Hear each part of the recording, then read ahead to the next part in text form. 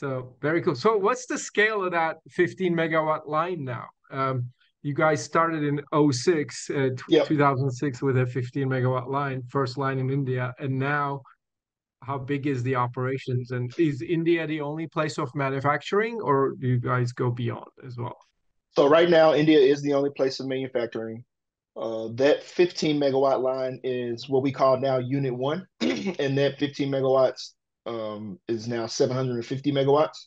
And so that's at our HQ office. So when I go to India, you know, my office is steps away from that 750 megawatt um, module line. Which, um, which metro area in India, by the way? It is in Bangalore, so it is in South India.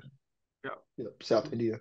And so what we call Unit Two is our uh, newer factory. It is probably an hour from the office, hmm and it is where we have um, our other 2.25 gigawatts online and our cell manufacturing as well.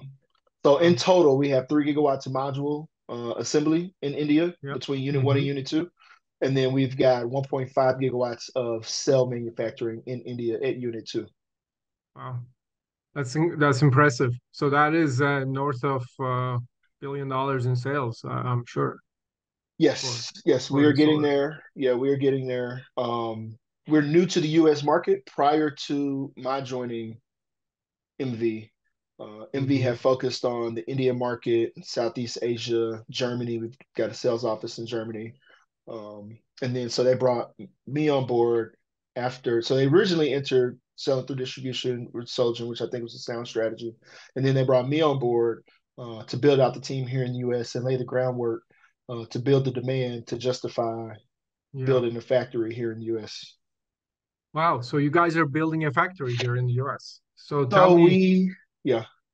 So we haven't tell made any official announcements yet, but we have been previewing it uh, to to to people. We've uh, selected a site. It's actually the actually already constructed building, ready to go. Uh, so in terms wow. of time frame, wouldn't take Mhm. that too too long to get up and running. We've got equipment on order, ready to go when we say ship.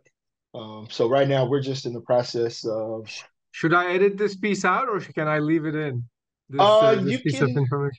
you can you can you can you can leave it in because I didn't give a location, I didn't give a time frame Yeah. Okay. or capacity. Yep, Yeah, you guys are looking. Okay, that's great. Okay. yep.